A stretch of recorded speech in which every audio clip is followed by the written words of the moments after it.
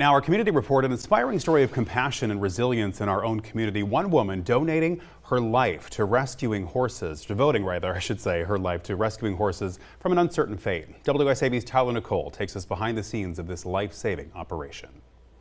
What started as a dream and a prayer has turned into a rescue mission to give these animals a second chance at life. We're just trying to help their journey be a little better one. Evermore Farms is the home of RAIN, Rescuing Equines in Need. It's a nonprofit organization that Eleanor and her friend Joy created to save horses from Texas kill pens and give them a new life by finding forever homes or putting them to work in jobs they enjoy, like teaching lessons or competing in horse shows.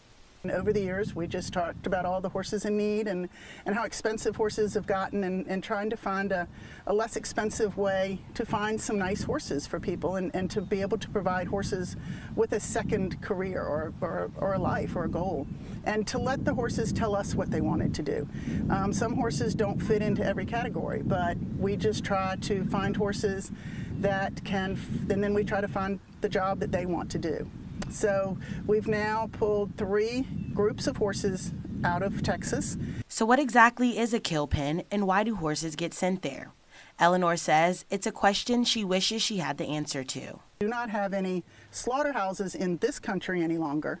So the horses that are going for slaughter for either dog food or other animal products or human consumption, because a lot of the rest of the world does eat horse meat.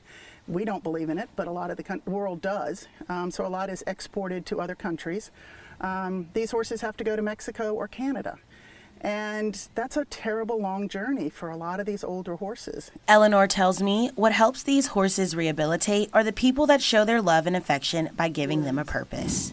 So we do a little of, of everything between the college program, and our high school and middle school teams, and we have a large group of young riders that we bring up and teach about horsemanship. Um, I have a group of older ladies that ride with me as well. Um, it's it's the outside of the horse is good for the inside of man, and so you know everybody's everybody wins. If you would like to donate to RAIN or volunteer, even take lessons at Evermore Farms, you can find the link to do all of that on our website, WSAV.com. Reporting in Brooklyn, Tyler Nicole, WSAV News 3 on your side.